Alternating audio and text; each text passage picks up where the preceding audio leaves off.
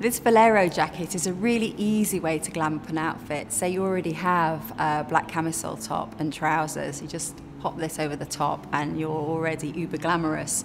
Or if black's playing it a little bit safe, why not try something in cream lace with a pair of cream wide leg trousers? It's got very much that 1920s vintage bed jacket feel about it, but it's kept contemporary with this lovely pleated fabric and this gorgeous uh, silver foil print of feathers running through it.